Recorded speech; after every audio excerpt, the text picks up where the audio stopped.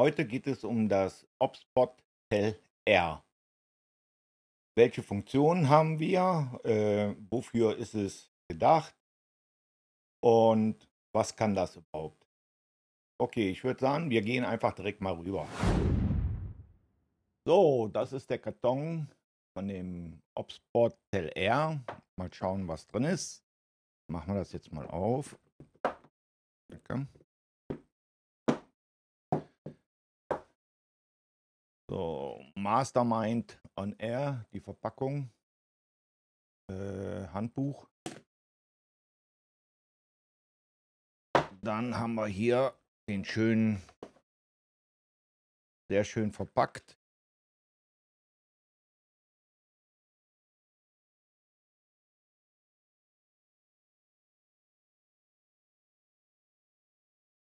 Okay. Machen wir das mal dazu hier. Brauchen wir jetzt nicht mehr. Also mehr ist in dem Karton jetzt erstmal nicht drin. Der Rest ist wohl in der Tasche.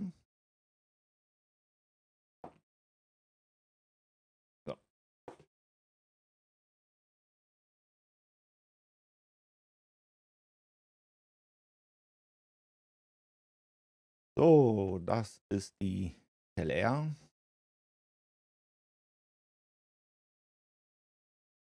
So sieht sie halt aus. Auf dem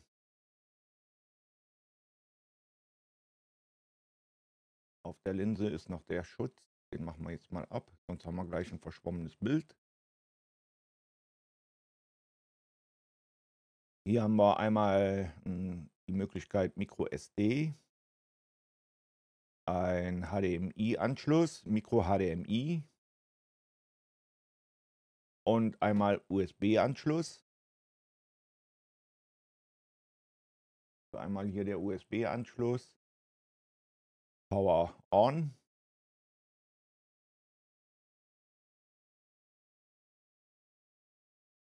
Micro SD.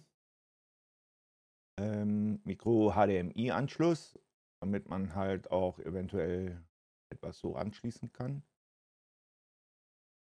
Von unten hier haben wir eine Kontaktfläche. Ich gehe mal davon aus, dass bei der Kontaktfläche noch irgendein Zusatz demnächst kommt. Dann haben wir hier noch einen kleinen Klinkenanschluss. Jo, das hier, diese das sind kleine LEDs für den Power-Up, äh.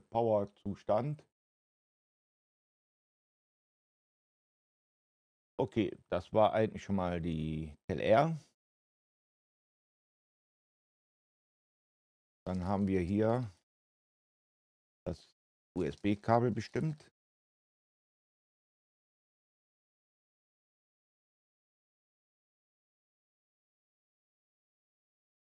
Ja.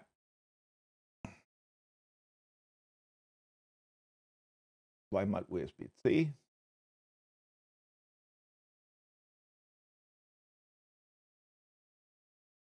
Dann haben wir ja noch zwei so kleine Tütchen. Haben wir hier drin.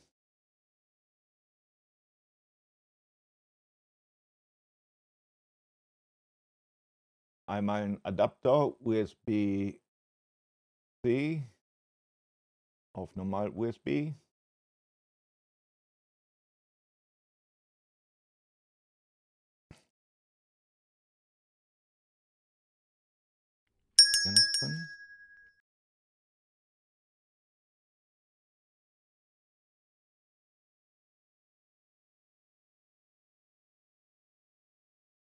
Nochmal ein Adapter. Zwar kann man in die Kamera stecken.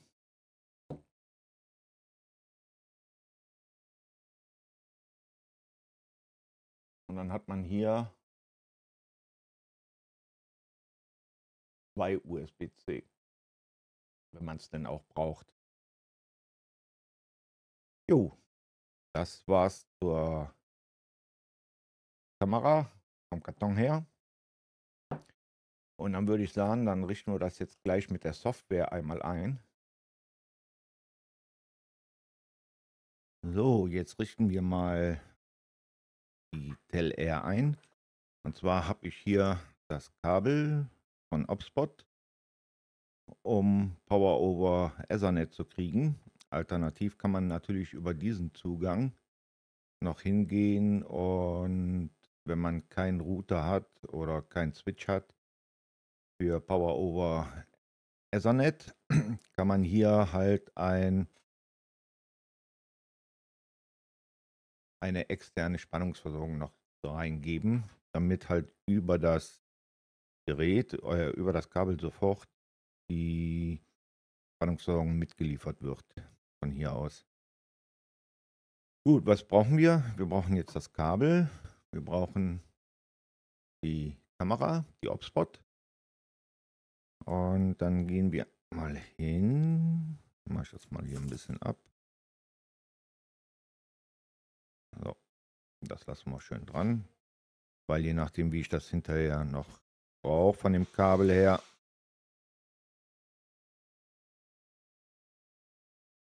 dann verbinden wir erstmal das Netzwerkkabel.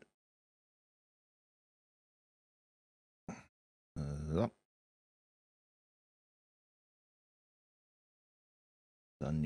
Kamera. Hm. So, hier haben wir es verbunden. Ich habe ein Switch mit Power over Ethernet. Da stecke ich den jetzt eben mal rein.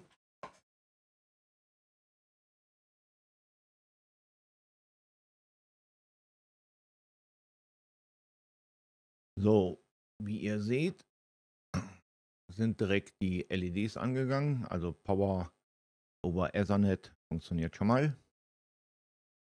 Dann gehen wir jetzt mal hin und schalten mal um. Also, wie ihr seht, habe ich schon eine TelR, TelR PC. Und wir gehen jetzt hin am PC und suchen eine neue Kamera. Geräteverwaltung und einmal hinzufügen. Hotspot. Weiter.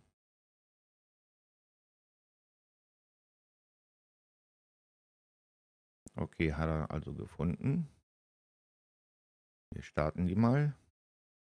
Erfolgreich verbunden. Die benennen wir um. Hier kann man halt Kamera umbenennen.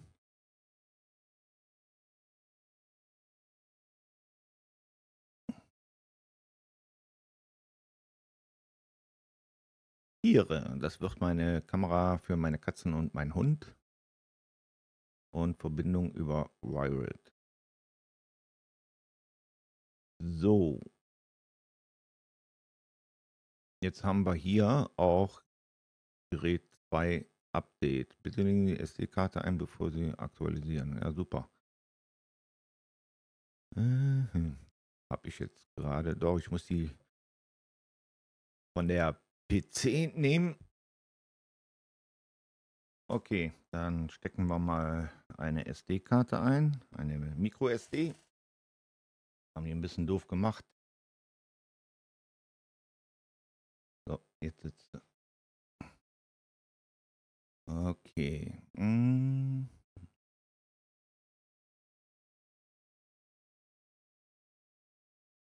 So, Firmware Version 5.0.1.10.10 aktualisieren. Neue Firmware ist verfügbar, kompatibel mit der Fernbedienungsfunktion. Fernbedienung habe ich nicht. Warnung, sobald der Update beginnt, kann er nicht mehr abgebrochen werden. Der, der Opspot-Gerät wird nach Abschluss des Upgrades neu gestartet. Okay, machen wir mal. Also nicht trennen. Ah, OBS Studio ist nicht an. Er macht jetzt das Update. Und gleich sollte er neu starten. So, nachdem die Software aktualisiert wurde, sieht man hier, geht es wieder online, eben war es offline. Hier sieht man jetzt die Daten, drahtloses Netzwerk und kabelgebunden. Ähm, was jetzt fehlt, ist der NDI-Schlüssel. Den gebe ich jetzt hier mal ein. Ähm, mal eben schauen, wo ich das mache. Und zwar unter mehr. NDI. So. Ich habe jetzt mal, bin jetzt hingegangen und habe mein Handy mal gespiegelt auf den PC und habe die OBS-Software gestartet. Und wir gehen jetzt hin. NDI. Dann gehen wir auf Aktivieren. Dann öffnet sich dieses schöne Fenster. Und jetzt geben wir den NDI-Code ein. Das mache ich natürlich jetzt nicht. Ähm, ich gehe mal eben mit dem Fenster raus, damit ihr das nicht seht. so. Also NDI-Modus Schlüssel habe ich jetzt eingegeben. Jetzt können wir auch NDI aktivieren. Nach Aktivierung des NDI-Modus sind UVC-Übertragungen nicht verfügbar. Okay, fertig. So, jetzt haben wir den NDI-Modus eingeschaltet. Gehen wir mal auf Home. Und man sieht mein Bein. Super. Okay. So, jetzt drehen wir die Kamera. Das ist jetzt komplett live.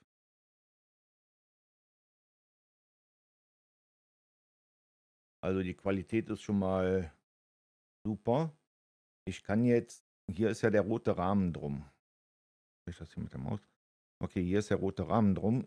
Man kann das, glaube ich, auch klein ziehen. Nee. Aber die Auswahl kann man ändern. Das heißt, ich habe jetzt das volle Bild. Ich kann aber auch hingehen. Achso, und hier könnt ihr diese Geschwindigkeit anpassen. Schildkröte langsam, Hase schnell. Wenn ich das jetzt auf ganz schnell mache und seht ihr, ist sehr flüssig und sehr schnell. Und wenn ich das auf total langsam mache, dann kann man halt na, fein justieren. Ist wesentlich langsamer. Also ich sag mal, ist langsamer, nicht wesentlich. Okay, setzen wir das wieder auf die Mitte.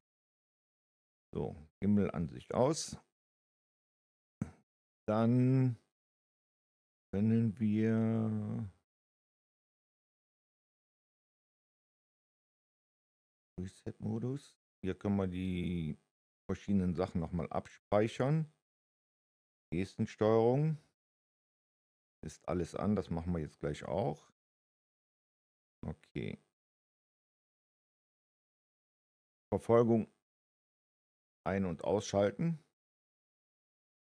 Jetzt seht ihr, was gerade passiert. Machen wir das mal weg. So, jetzt flackert das sehr stark. Ich bin jetzt innerhalb des, des Rahmens. Und wenn ich jetzt mich bewege, dann geht die Kamera und folgt mir. Und wenn ich wieder die Hand hebe,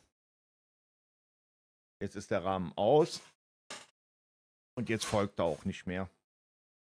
Dann gehen wir mal hin und was haben wir denn hier noch? Ähm, war die Gestensteuerung. Na, Gestensteuerung. So, Ziel auswählen. Gut, Aufnahme starten, beenden. Ist klar mit dem alles okay. Jetzt nimmt er auf der äh, SD-Karte auf. Und ist beendet. Das habt ihr hier rechts gesehen. Also auf eurem Handy, ne? Das muss halt auf eurem Handy sein. Dann äh, Zoom. Mache ich das jetzt hier mal weg.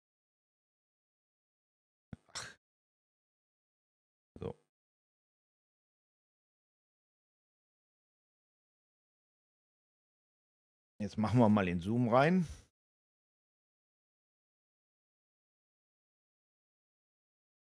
Oben rechts seht ihr, äh, was passiert ist.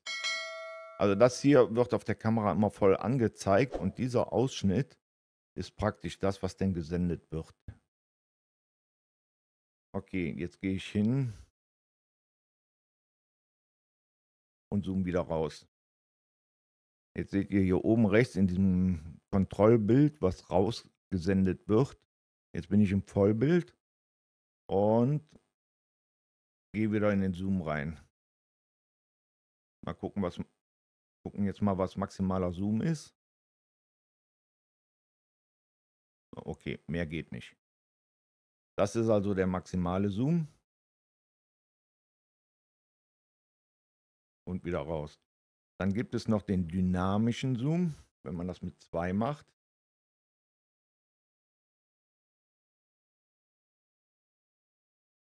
Ja. Oder nicht? Ah, okay. Wie ihr seht, je nachdem, wie ich das mit den Fingern mache auf die Kamera, kann ich das halt ein- und rauszoomen. Also die Bewegung muss doch etwas schneller sein. Jetzt haben wir den Zoom und dann zoomt er wieder komplett raus. Welche Optionen haben wir noch? Ah, nicht.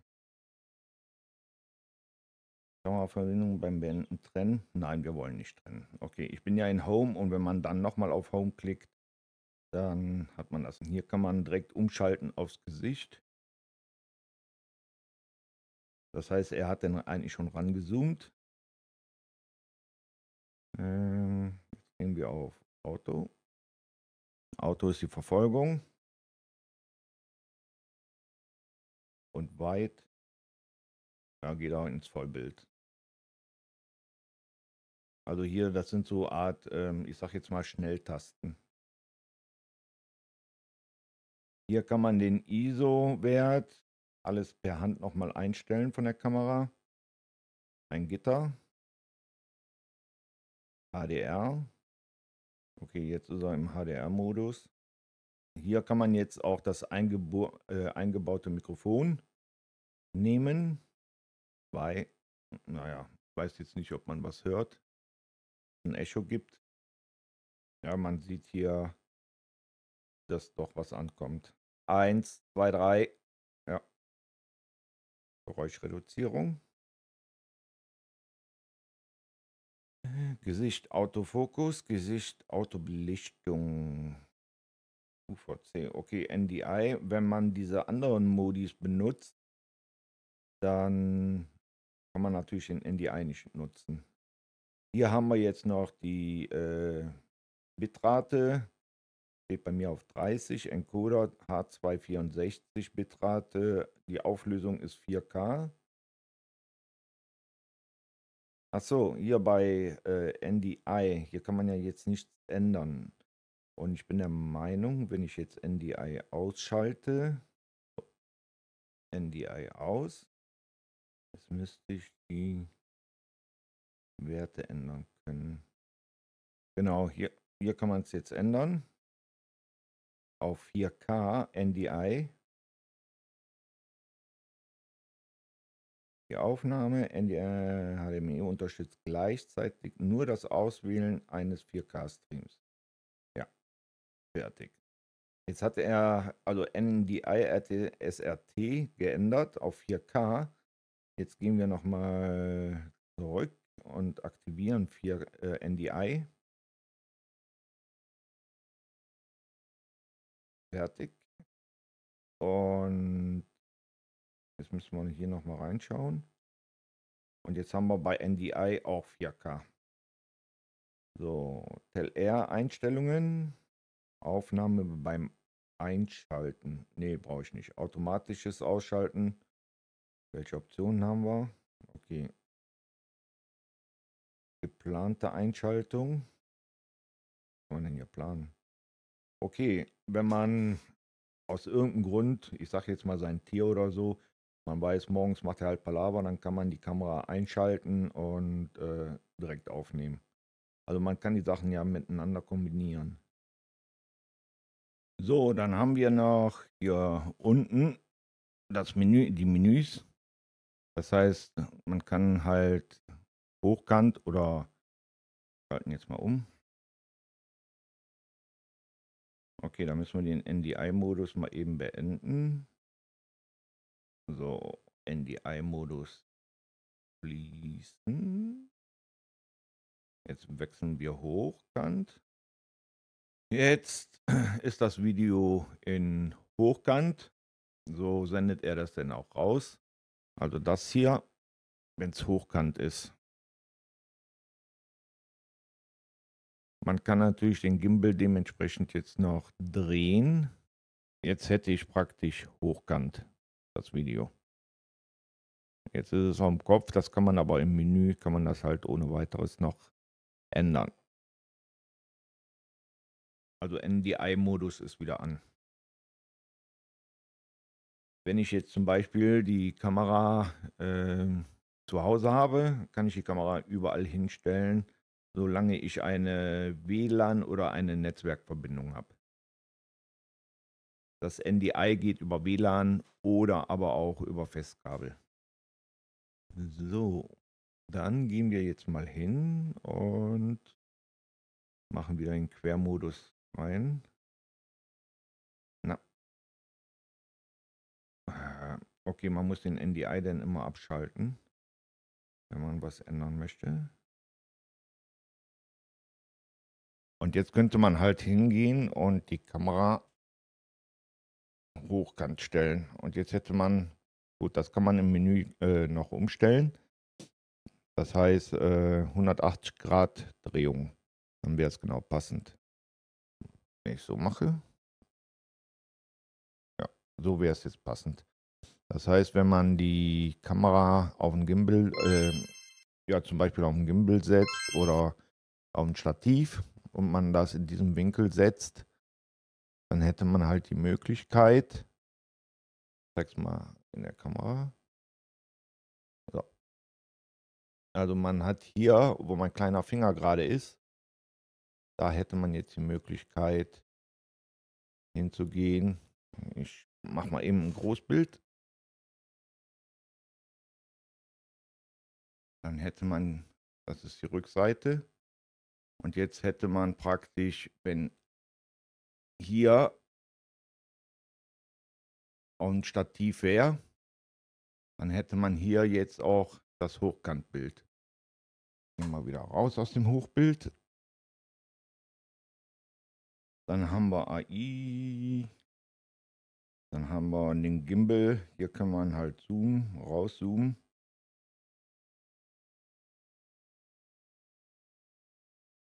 Und einmal komplett in die andere Richtung. Machen wir mal auf schnell.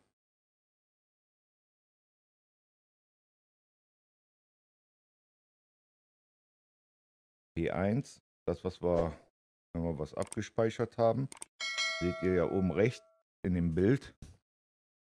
Der Rahmen ist wie gesagt das hier, was gesendet wird. P2, P3.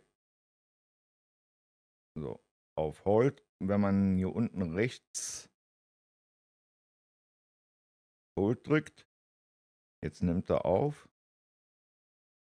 Okay, jetzt nimmt er auf. Und man kann dann auch ein Foto machen.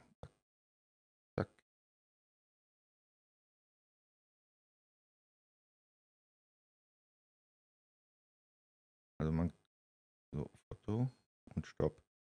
Man kann wohl kein direktes Foto hier einfach mal eben draufdrücken. Gut, ist ja auch eine Videokamera. Deswegen so einen Schnappschuss kann man zwischendurch mal machen. Hm, ja das war es eigentlich mit der Handysteuerung. Hat euch das Video gefallen? Hinterlasst doch bitte ein Like oder ein Abo. Und meine Frage ist, welche Kameras nutzt ihr? Was haltet ihr von der Opspot? Schreibt es gerne in die Kommentare. Danke und tschüss.